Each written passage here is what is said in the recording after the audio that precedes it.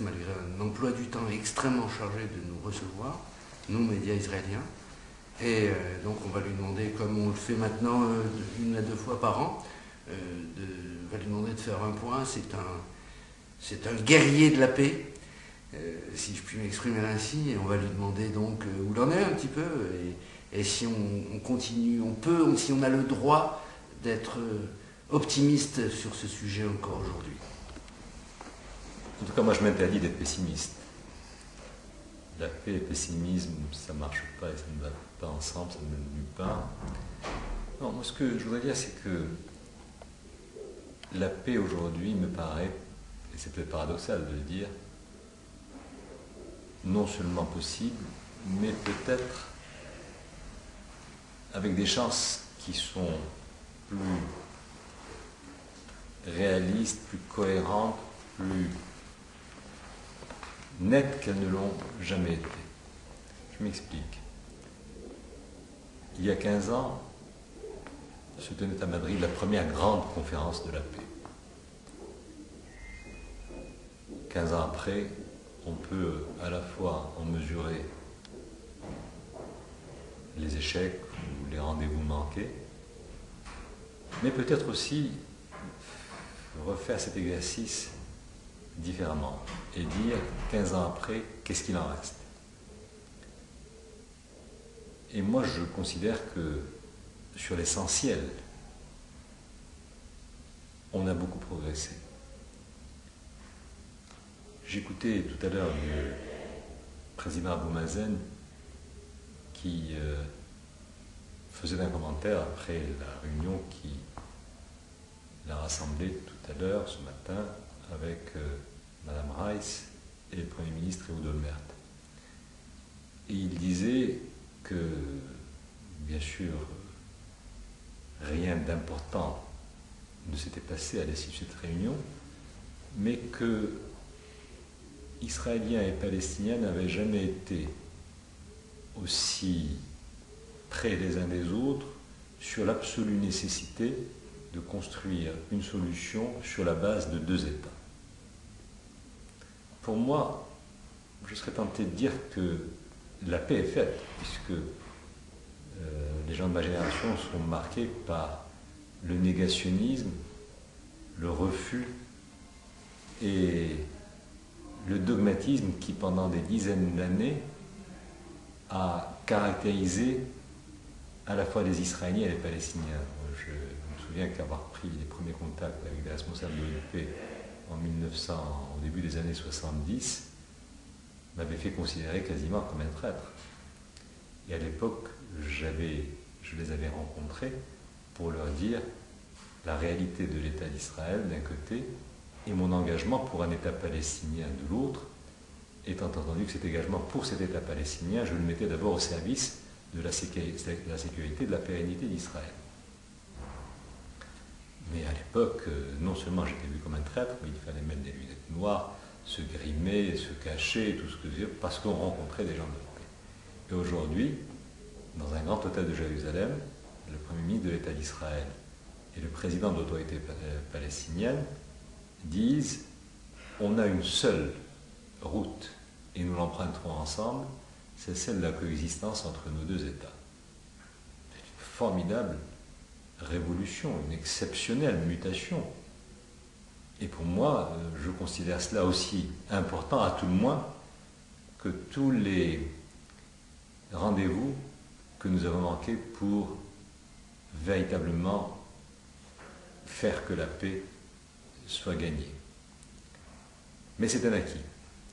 L'autre acquis, il est dans cette initiative arabe par le sommet arabe par le sommet de la Ligue arabe qui s'est réuni en 2003 ou en 2004, je pense en 2003, à Beyrouth, et qui s'est soldé par l'adoption par 22 États, des 22 États membres, d'un plan de paix qui a été proposé à la communauté des nations et à l'État d'Israël. Mais moi je pense à l'État d'Israël.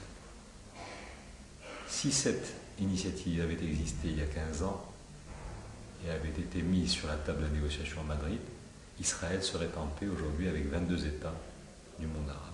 Or, cette initiative, elle est là. Elle a été validée, ratifiée par tous les membres de la Ligue arabe, et on n'en fait rien. Qui la connaît en Israël? Qui l'a étudiée en Israël? Qui l'a prise au sérieux en Israël? Qu'est-ce que l'Europe ou qu'est-ce que les Nations Unies ou les États-Unis en ont pensé Rien. Et pourtant, elle est là, elle est écrite, elle est formalisée, elle est détaillée, elle est même accommodée de mois en mois, complétée, enrichie, précisée. Et euh, je crois que sans que ce soit un instrument parfait, qui répondent à toutes les aspirations à la fois des Arabes, des Palestiniens, des Israéliens, des États-Unis ou de la communauté des nations, euh, j'ai le sentiment que jamais le monde arabe ne s'est mis d'accord sur une plateforme, une sorte de feuille de route qui définisse avec autant de précision, ad minima, les modalités d'une paix définitive entre Israël et le monde arabe. Et là, ça existe. C'est à nos dispositions. Mais malheureusement, euh, la scène est occupée par la tragédie plutôt que par la possibilité de donner à une initiative comme celle-là les chances qu'elle mérite. Voilà, donc je, je dis que nous pouvons, il faut, il faut récuser cette culture ambiante qui s'impose à tous, finalement, qui serait celle d'une fatalité de la confrontation. Moi, la confrontation n'est pas fatale. Cette confrontation n'est pas fatale et la paix entre Palestiniens et Israéliens, elle est aujourd'hui dans les têtes de tous, là où elle était récusée par tous.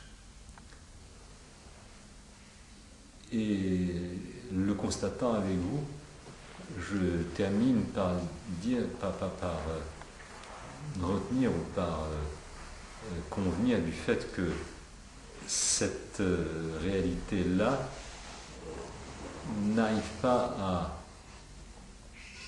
créer ou à être catalysée par un leader politique qui deviendrait, par des leaders politiques, des exécutifs, des gouvernements qui deviendraient les champions de cette paix qui est trouvable, qui n'est pas introuvable, euh, qui est là. Donc euh, voilà, euh, pour les combattants, les militants de la paix au rang desquels je me situe, il y a aussi des motifs d'espoir. L'art du possible reste plus que présent, plus que jamais présent dans nos têtes et en tout cas avec les, moyens qui sont les miens, euh, un engagement qui a maintenant plus d'un demi-siècle euh, pour euh, donner toutes ces chances à la paix, ben, moi je vais plutôt marque-bouter sur ces réalités positives que je viens d'évoquer pour essayer de faire en sorte que finalement demain se déclare apparaissent ou émergent à la fois en Israël et en Palestine ce champion de la paix que la majorité des Israéliens, la majorité des Palestiniens, la majorité des Arabes, la majorité des Juifs dans le monde souhaitent. De, la même façon, chacun sait que la majorité des Palestiniens est favorable à une issue politique de la crise. Que cette même majorité sait que et accepte le fait que ce soit dans une logique de négociation, dans une logique de sortie de crise politique qu'il faut aujourd'hui se situer. Ça aussi, c'est un énorme progrès. C'est-à-dire que même si toutes les plaies de la guerre et de la tragédie ne sont pas cicatrisées dans les cœurs et dans les têtes, la raison s'impose.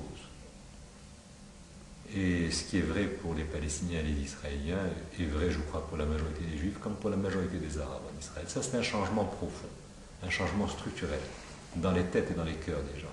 Aujourd'hui, le monde arabe est prêt pour la paix.